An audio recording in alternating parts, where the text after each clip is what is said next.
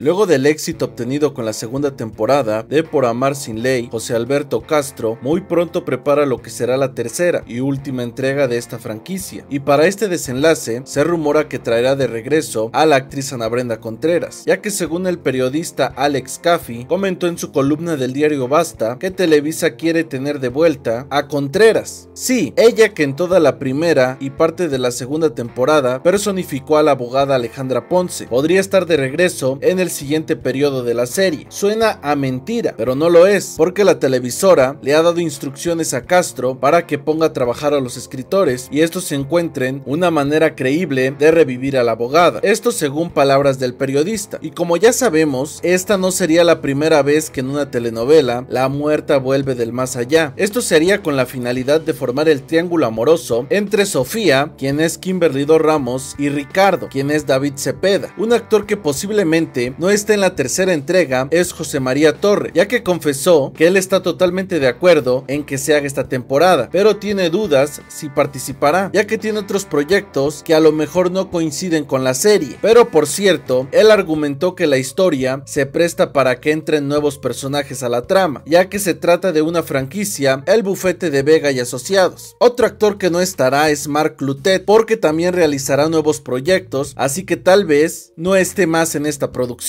siendo incierto el destino de Victoria, quien es Altair Jarabo, porque sus dos galanes se le van. Por otra parte, de no darse la participación de Ana Brenda, lo que se planea es darle más protagonismo al personaje que tiene Geraldine Bazán, como Elena, para entrar en la vida de los personajes de Dos Ramos y Cepeda. Por ahora, Televisa ya dio luz verde para la tercera temporada de Por Amar Sin Ley, que empezará a grabarse en el mes de enero del próximo año 2020, ya que José Alberto Castro está enfocado en su nueva narrativa que se llama Doctores, la cual es el remake de la teleserie colombiana Sala de Urgencias del 2015, que se estrenará en noviembre de este año 2019, mientras que Por Amar Sin Ley estará al aire en el primer trimestre del 2020. Dime qué te parece que Ana Brenda regrese en esta temporada y te gustaría que forme el triángulo amoroso entre Ricardo y Sofía. Cuéntame tu opinión en los comentarios. Antes de que me vaya, no te olvides de activar la campanita de notificaciones para que te avise cuando suba nuevo y estés al pendiente de tus telenovelas y series favoritas que se empiezan a grabar durante este año 2019.